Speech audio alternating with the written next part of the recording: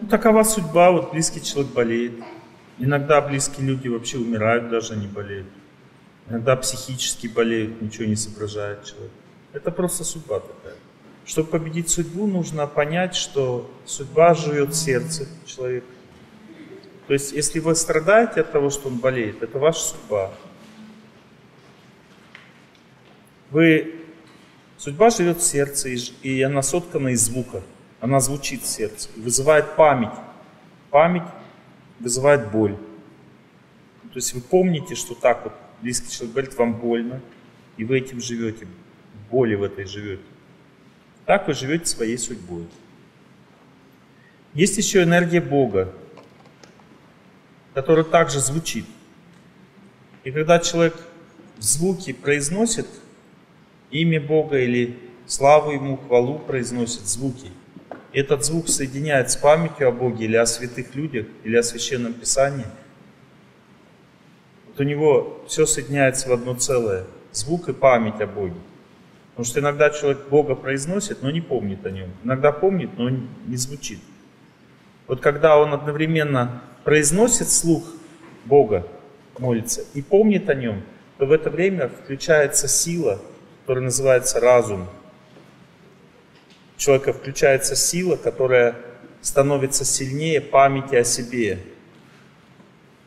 И человек постепенно с помощью вот этого вот звука, с памятью о Боге, он побеждает память о себе, звучание судьбы начинает гаснуть. И первая стадия победы над судьбой – это легкость сердца.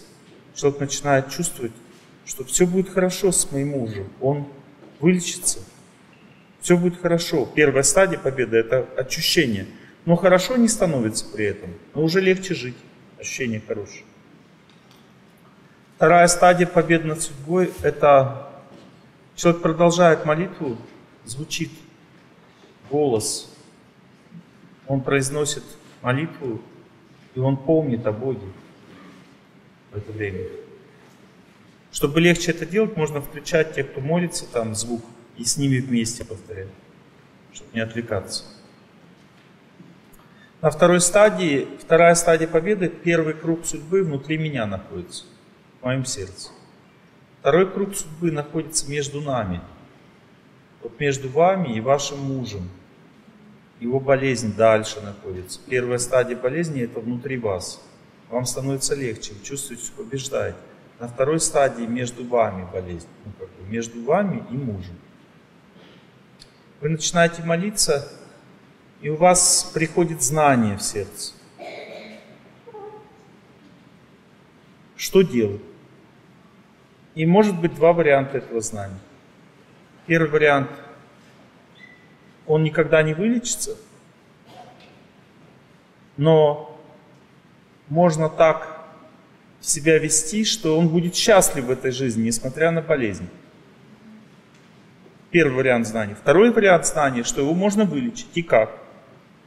На втором круге. Сначала спокойствие, потом знание – а потом изменения внутри человека. И измерения, изменения внутри человека бывают двух видов. Первый вид изменений человек понимает, начинает понимать, что ему делать, чтобы вылечиться. Или он понимает, что ему вот так жить и понимает зачем. То есть он принимает такую жизнь, какая есть, и учится быть счастливым в ней. То есть третий круг побед над судьбой, это вы своей молитвой вызываете в нем такие изменения, что он принимает свою судьбу и становится счастливым, несмотря на то, что у него есть какой-то недостаток в жизни, допустим, какая-то проблема. Если вы меня спрашиваете, допустим, я могу вам сказать, что здоровье дает природа, но с ней надо учиться контактировать. Вот если пришел на природу, сел, она в тебя не зайдет чтобы над природой контакт установить с стихиями, которые дают здоровье. Для этого нужно делать одно из трех. Или пост. Вот, допустим, человек двигаться не может. Он должен поститься на природе тогда. И тогда энергия природы входит в него и вылечивает. Второе – это неподвижное положение тела. Человек, допустим, ходить не может, но он зато может стоять неподвижно. Или сидеть. Деревья дают также эту энергию статического победу над судьбой, статическую энергию. Можно рядом с деревом неподвижно сидеть. И это стихии природы, которые лечат человека. Нам не хватает энергии для выздоровления, понимаете? Энергии просто. Вот все в организме есть, чтобы вылечить, но сил нет. Эта сила берется от природы в аскезе. Человек сидит возле дерева, допустим, полтора часа, его психика наполняется вот этой энергией победы над судьбой. И он начинает вылечиваться. И длительное непрерывное движение на природе также вылечивает человека. Три вот эти вида аскезы продлевают жизнь человека. Молитва сама по себе освобождает болезнью, болезнь теряет силу от молитвы. Есть, понимаете, есть энергия времени, которая наполняет болезнь. Она как подливает масло в огонь.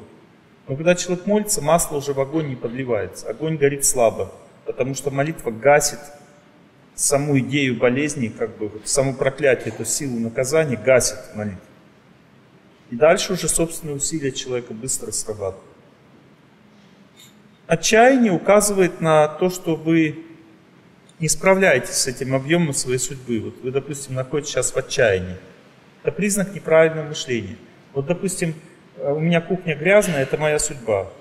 Я могу быть в отчаянии, но это не поможет мне ее вымыть. Я просто иду и мою. Это правильное поведение. Отчаяние само не, себе не помогает вымыть. А если я принял грязную кухню, сначала принятие идет. Вот мне по судьбе положено такого мужа.